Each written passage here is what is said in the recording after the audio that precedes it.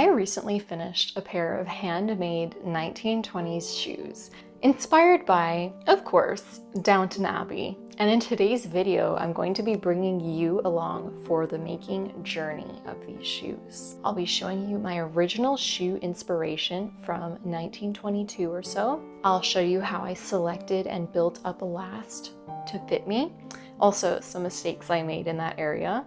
How I created the patterns for the shoes, cut out the leather, stitched the uppers, and even how I carved the wooden high heels for these shoes. Now stay tuned till the end of the video for the final reveal of the shoes and to hear how they fit and how I like them. If you are interested in shoemaking, I have a few other, mostly historical shoemaking videos on this channel that I will link for you in the description. If you are interested more in the making process of these shoes from the 1920s, check out the accompanying blog post, which will be linked in the description and will have the whole written version of the making process along with photos. Okay, so I bought my shoe last from Lisa Sorrell's site. It was actually a cowboy boot last, but it was a reproduction of a vintage last and had a very similar shape to that which I was trying to create. And these are the beautiful inspiration shoes that I worked off of. They're from 1922. So for my shoe last, I first had to build them up with leather because I purposely bought them in a narrow width so I could get that nice snug fit in the waist of the last, but have enough room for the ball of my foot and for my heel. I then wrapped the last in masking tape and drew on some important landmarks before carefully cutting off the masking tape mold of the last. And this would form the basis for our pattern. A pattern in shoemaking is called a last standard, and that is the basic foundation for making any shoe pattern for a given pair of lasts. And so I'm laying down that masking tape mold onto paper and cutting around it.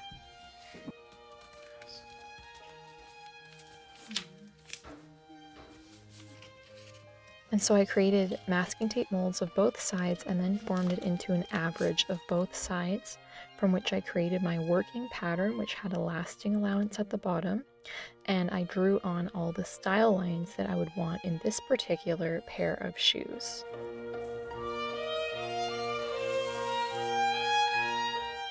And then I separated it into the different pieces of the pattern. And I made a mock-up out of fabric.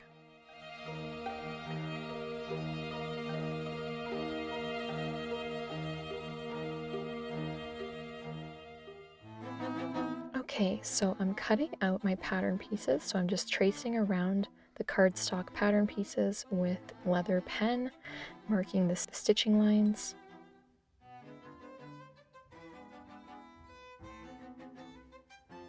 And now I'm going to be cutting them out.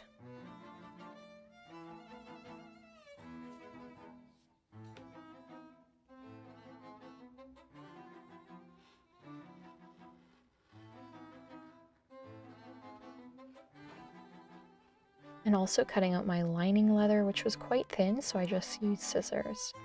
And here are all of my outer leather pieces cut out. And here are all the inner components of the shoes. And now it's time to start skiving. Skiving is a process used in all kinds of leather work where you use a sharp knife to thin down the edges of the leather. Now I'm applying some double-sided shoemaking tape and cutting some relief cuts in the very edge of this vamp because I'm going to be folding this edge under.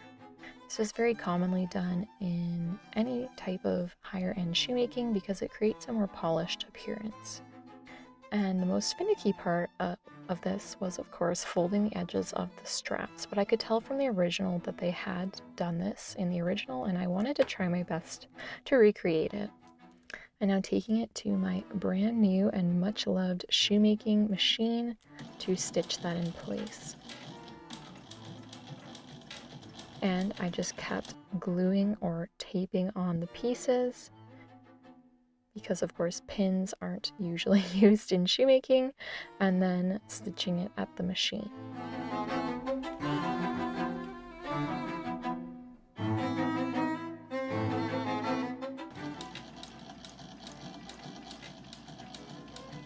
And the final step is of course adding our buckle. This is an antique buckle from 1925.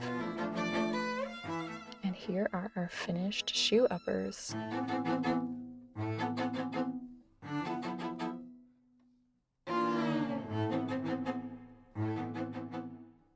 The next step is creating our insole. So I cut out my insole leather with a lot of extra margin and I got it wet and I just molded it to the shape of the last. And once it's dry the next day, I'm removing that and using a knife to trim off the edges, flush to the edges of the last. Just using some more precise knife strokes at the waist of the shoe last there.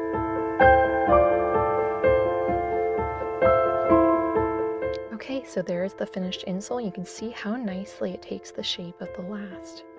So I'm using a technique that was used historically, which is of creating a cardboard shank for these shoes.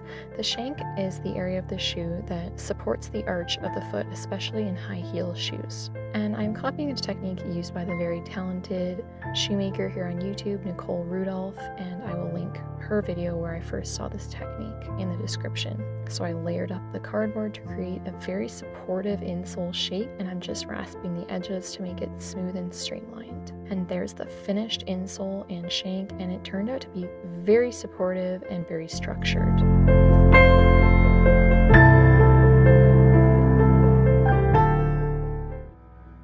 Okay, so here are insoles and we're ready for the next step, which is lasting. I just want to give lip service to this wonderful shoemaking book, Bespoke Shoemaking. I will put the title and author in the description. It really helped me out a lot through this shoemaking process and helped me up my shoemaking game quite a bit. So I'm using a technique that he recommends in his book, which is where you add the heel counter, which is the stiffener, which will reinforce the heel. You add that in to the uppers before beginning lasting. This was very, very new to me, but I took him on his word and tried it out. And now I'm beginning the lasting process. using my lasting pliers to pull the uppers down over the insole accuracy is very important here, and it's a very, very finicky process.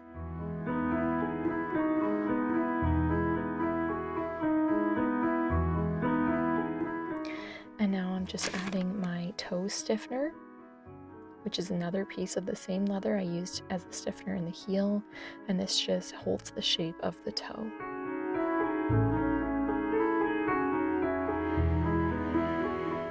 So now I'm just using my knife to streamline up the bottom of that stiffener, cutting off all the lumps and bumps before taking my rasp and rasping all over the toe puff to get it smooth and streamlined under the shoe. Before doing the final lasting of the upper over top of that and adding my paste, which will create a nice stiff shape in the toe puff.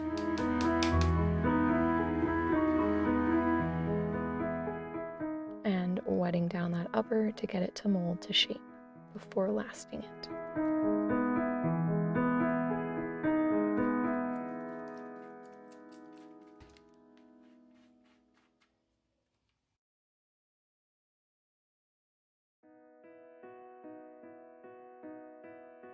Hi guys, so I just wanted to come to you raw in the moment here to describe something vastly horrible that has happened in my shoemaking endeavors. And any of you who make things, I'm sure will be able to understand my pain, whether or not you do shoemaking.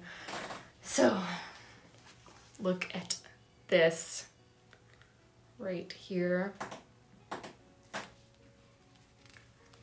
Honestly. I don't know if it's showing up as much as does it justice, but I'm sure you can see those dark areas. Those are areas where the coating of the leather appears to have peeled off. And I didn't know this would happen. The reason why this happened is because I got the leather wet. This is veg tanned leather. So the procedure I've seen most often used in lasting veg tan leather uppers is to get it wet because it's not as soft and pliable as chrome tan leather, and when you get it wet, you can mold it to a certain shape, such as the last, and then it will hold that shape. So that's why I was doing it. And especially because this particular last is so curvy, I really needed to get it wet to get it to form to the shape. But I found through the worst of ways that when it gets wet and then it's under any sort of pressure or touching, which of course I was having to touch it and hammer it a bit to get it to hold the shape, this coating on the leather, it appears to have some sort of like leather paint coating, which makes sense based on the finish type of this leather. It appears to be peeling off when it's wet and it's getting rubbed. And actually, I'm not showing you the other upper right now because it's not very accessible, but even a larger area peeled off. Now, that being said, it looks a bit worse than it actually is right now because it's currently wet. And I have noticed that when these spots dry, when the whole leather dries, the spots aren't quite as dark. They're more of a matching color, but you can still tell the difference, especially in the other one where the spot is much bigger. I'll just see if I can show you. I hope you can see that. It's really quite a large area where the coating got peeled off. That literally upset me so much. It put me into like a physical illness for a couple days that I'm still getting over. And honest, obviously, the illness could have been due to germs or whatever, but I honestly chalk it up to all the stress that this shoemaking thing put me through. Like when you put so much work into to creating like as perfect as possible of a leather upper and then you're lasting it and then something like this happens, it's just horrifying. I've been trying to tell myself this is a learning experience, it's just practice. It's kind of like going to shoemaking school, except actually doing it through learning through doing. But at the same time, I've been so excited to have these shoes and to be able to wear them in my daily life and to events that I have coming up. So it is really disappointing. Okay, so here is where my lovely Angelus leather paint collection comes in handy. I worked with these two colors, chocolate and cognac, and went back to my long lost painting skills and color mixing skills to try to mix a color that would match as closely as possible the color of my leather. Of course, testing this on some scrap leather. And so here's my poor shoe and it's the moment of truth, seeing if I'll be able to cover up those spots. And miracle of miracles, this worked so much better than I ever expected it would. And the spots are completely invisible after doing this fix, and I am so thrilled about that.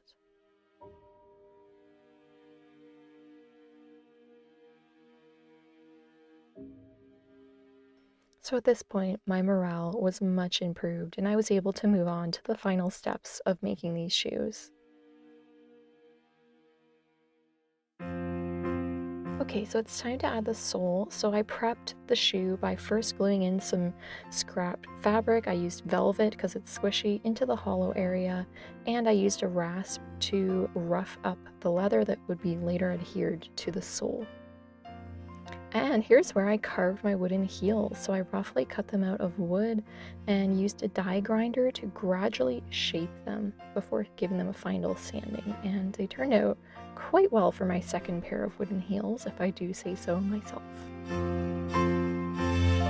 And so this was a tricky part. It's where you have to wrap your wooden heel in matching leather. And the trick is, it's not really a good idea to wet your leather. Wetting would make it much easier, but the glue wouldn't stick if the leather was wet. So I went in this with dry leather and used a bone folder to try to scrape all of those wrinkles out. And it ended up working pretty well, but it was challenging. Now I'm going in with my contact cement outdoors and gluing that heel in place.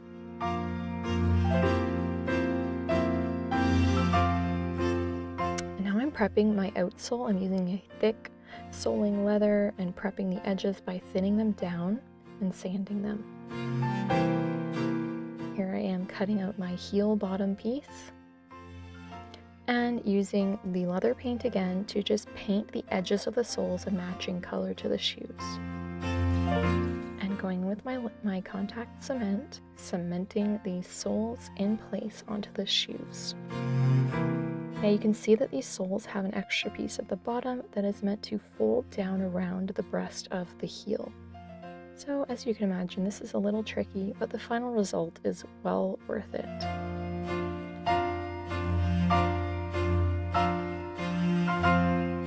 And just hammering that in place, and for good measure, I gave it a tie just to make sure those edges were well adhered. And finally, it was time to remove the shoe lasts. This took a lot longer than the video shows. And the one last step was to add in some nails to hold in hold the heel in place from the inside before adding in the sock liner to the inside of the shoe to neaten it all up.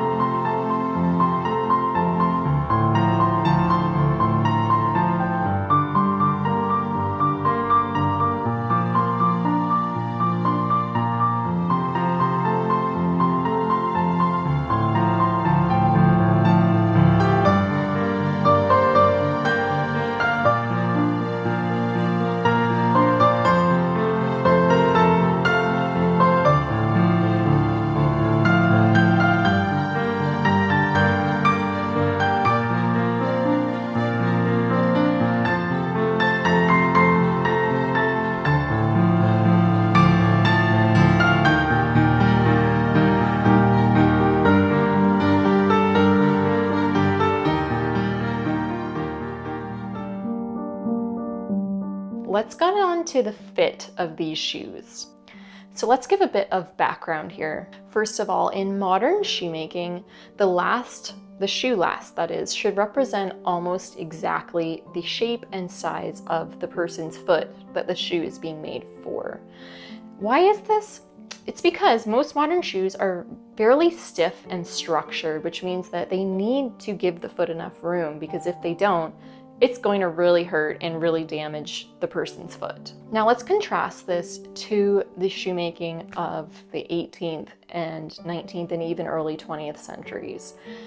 In these times, shoes were much softer and more flexible. They were made from softer and more flexible and stretchy leathers, and they just didn't believe that shoes needed to be structured in the same way that we view shoes should be today all of that meant that lasts didn't need to be as wide as they are today.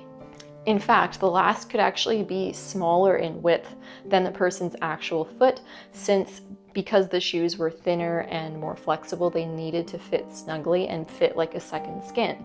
Okay, so the last pair of shoes I made were from the 1820s and they were made on a hand carved last that I carved myself and if you look at that shoe last, it was ridiculously narrow. And keep in mind that I have wider than average feet, and yet these boots still turned out fitting me just fine.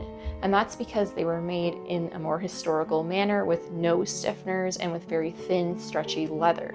So the big difference between that pair of boots from the 1820s versus this pair of shoes that I just made from the 1920s was the use of stiffeners in the 1920s shoes. If you forget what stiffeners are, just go ahead and head on back to that timestamp and check it out. But basically, stiffeners are an extra piece of leather that are involved in the toe area and the heel area of the shoe, and they're there is paste applied to them to make them dry very stiffly. And I underestimated how much extra width my shoe last would need to have given the fact that I was using these stiffeners this time. That being said, the shoe, although it was tight to begin with, especially on my right foot, which is a bit larger than my left, they have thankfully stretched and they feel pretty much how they should be at this point after several wearings, so that's good. The stretching has caused some wrinkling across the vamp, especially of the right shoe, but it's not the end of the world and I'm going to keep in mind what I learned. For the next time I make a pair of shoes on this last, I'll just build it up to be a little bit more wide with some leather. Okay everyone, thanks so much for watching. If you liked this video, give it a like, leave your comments and questions below, or share it with people that you think might be interested in this. Check out the written article on this making process, which will be linked in the description. And I also have an email newsletter on my blog that you can sign up for to get my weekly newsletter and updates of what I'm doing. Be sure to check out my other shoemaking videos, which are linked in the description, as well as all my social media accounts. If you would like more real-time updates of what I'm working on, be sure to follow me on Instagram. And thanks again for watching and joining me on this shoemaking journey.